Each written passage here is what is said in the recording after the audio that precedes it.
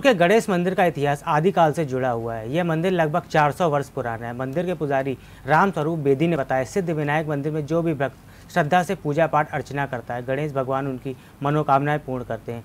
कोई भी खाली हाथ नहीं लौटता है। भक्तों की सभी मुराद पूरी होती है।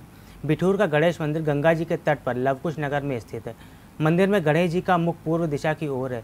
सूर्य चंद्रमा की प्रथम किरण सीधे गणेश भगवान की प्रतिमा के ऊपर पड़ती है। सिद्ध विनायक होने के नाते गणेश भगवान के ऊपर सिंदूर चढ़ाया जाता है। यहाँ दिन भर भक्तों का तांता लगा रहता है।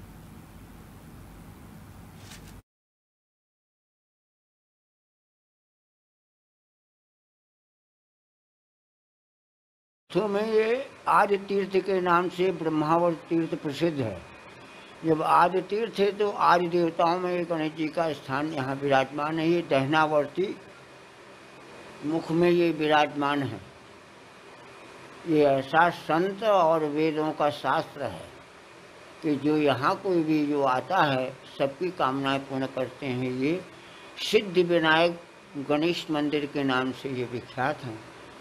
यहाँ आदि तीर्थ के नाते हैं, तमाम मूर्तियाँ गणेश जी की, लेकिन ये विशेष स्थान लिए हुए हैं। आज गणेश चतुर्थी के दिन बिठूर के गणेश मंदिर में हज़ारों की तादाद में भक्त दर्शन करने के लिए आते हैं। इस वक्त हम मौजूद हैं बिठूर स्थित प्राचीन गणेश मंदिर पे।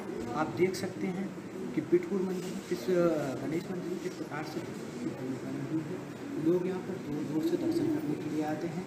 और पंडित जी का कहना है कि यहाँ पे अति प्राचीन गणेश जी की प्रतिमा है।